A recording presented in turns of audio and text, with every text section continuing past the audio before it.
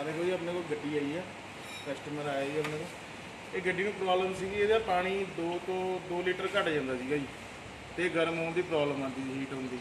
ਆ ਦੇਖੋ ਜੀ ਆ ਦਿਖਾਵਾਂ ਜੀ। ਪਹਿਲੀ ਗੱਲ ਤਾਂ ਦੇਖੋ ਜੀ, ਜਰ ਕਿੰਨੀ ਆ ਰਹੀ ਹੈ ਇਹਦੇ ਵਿੱਚ।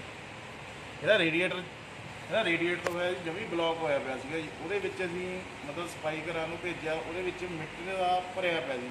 ਲੇਅਰ ਬਣੀ ਸੀ ਮਿੱਟੀ ਦੀ ਪੂਰੀ। ਉਹਦੇ ਕਰਕੇ ਉਹ ਪਾਣੀ ਸੁੱਕੀ ਜਾਂਦਾ ਸੀ, ਪਾਣੀ ਘਟੀ ਜਾਂਦਾ ਸੀ ਗੱਡੀ 'ਚ।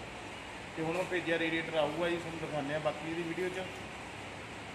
ਆਹ ਪ੍ਰੋਬਲਮ ਆ ਗੱਡੀ 'ਚ ਲੋ ਜੀ, ਰੇਡੀਏਟਰ ਆ ਚੁੱਕਿਆ ਦੇਖੋ ਜੀ। ਲੋ ਜੀ ਕਲੀਨ ਕਰਾਤਾ ਜੀ, ਅੰਦਰੋਂ।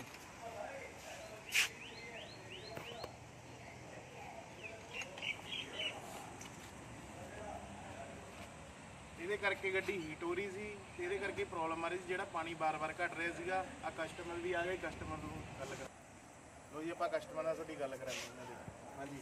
ਫਿਰ ਇਹਦਾ ਬੋਰਡ ਨੂੰ ਤੁਸੀਂ ਲੱਗਦਾ ਦੋ ਤਿੰਨ ਮਿਸਤਰੀਆਂ ਨੂੰ ਦਿਖਾਤੀ ਉਹ ਤਾਂ ਕਹਿੰਦਾ ਕਦੇ ਹੈੱਡ ਪੱਟਣਾ ਕਦੇ ਪਾਣੀ ਜਾਲਦੀ ਆ।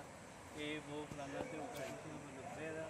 ਦੋ ਤਿੰਨ ਦੋ ਲੀਟਰ ਪਾਣੀ ਘਟਾ ਦਿੱਤਾ ਜੀ ਦਾ 2 ਲੀਟਰ ਘਟਾ ਲਿਆ ਜੀ।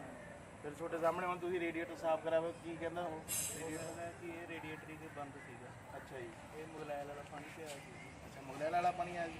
ਉਹਦਾ ਚਲੋ ਕੋਈ ਨਹੀਂ ਉਹਦਾ ਟੱਕਣ ਦੇ ਗਰੀਸ ਲਾਇਆ ਜੀ ਉਹਦੇ ਕਰਕੇ ਬਣ ਗਿਆ। ਹਾਂਜੀ। ਇਹਦਾ ਹੁਣ ਤੁਹਾਡੇ ਹੁਣ ਸੰਤੁਸ਼ਟ ਹੋ ਗੱਡੀ ਤੋਂ ਹੁਣ? ਹਾਂਜੀ। ਤੁਹਾਡਾ ਹੁਣ ਗੱਡੀ ਦਾ ਕੰਮ ਕਰਕੇ ਦਵਾਂਗੇ ਕੂਲਰ ਪਾ ਕੇ ਦਵਾਂਗੇ ਮੁੜ ਕੇ ਮਿੱਟੀ ਨਹੀਂ ਜੰਮੂ ਨਾ ਕੁਝ ਹੋਊਗੀ। ਤੁਹਾਡੀ ਗੱਡੀ ਜਮੀ ਟਿਪ ਟੌਪ ਕਰਕੇ ਦਵਾਂਗੇ। ਤੇ ਸਾਡਾ ਕੰਮ ਕਿਹੋ ਜਿਹਾ ਲੱਗਦਾ ਤੁਹਾਨੂੰ?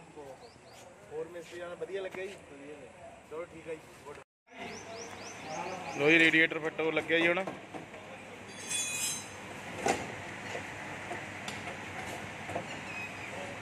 ਰੇਡੀਏਟਰ ਫਿੱਟ ਕਰਨ ਲੱਗੇ ਜੀ। ਰੇਡੀਏਟਰ ਬਿਲਕੁਲ ਬਲੌਕ ਹੋਇਆ ਸੀਗਾ ਜੀ। ਤੇ ਮਿੱਟੀ ਬਹੁਤ ਨਿਕਲੀ ਹੈ ਰੇਡੀਏਟਰ 'ਚ। ਇਹ ਕੂਲੈਂਟ ਪਾ ਕੇ ਰੱਖਿਆ ਕਰੋ ਗੱਡੀ 'ਚ ਜੀ ਪਾਣੀ ਦੀ ਗਾਂਧ ਬਣ ਕੇ ਨਾ ਜੀ, ਮਿੱਟੀ ਬਣ ਜਾਂਦੀ ਹੈ, ਫਿਰ ਉਹ ਕਰਕੇ ਨਾ ਸੁੱਕੀ ਜਾਂਦੀ ਹੁੰਦੀ ਹੈ ਅੰਦਰ ਪਾਣੀ। ਬਲੈਰੋ ਨੂੰ ਇਹ ਖਾਸ ਕਰ ਪ੍ਰੋਬਲਮ ਹੈ ਜੀ। ਹੁਣ ਕਈ ਮਿਸਤਰੀਆਂ ਕੋਲ ਜਾਏ ਸੀਗੇ ਗੱਡੀ ਜੀ, ਕਈ ਕਹਿੰਦੇ ਜੀ ਹੈੱਡ ਨੂੰ ਸੇਕ ਲੱਗਿਆ ਜੀ, ਤੁਹਾਡਾ ਗੈਸ ਕਿਟ ਫੁਕਿਆ ਜੀ, ਉਹਦੇ ਕਰਕੇ ਜੀ ਪਾਣੀ ਘਟਾਈ ਜਾ ਰਹੀ ਹੈ ਜੀ। ਪ੍ਰੋਬਲਮ ਅਸਲੀ ਸੀਗੀ ਜੀ ਆ ਰੇਡੀਏਟਰ ਦੀ।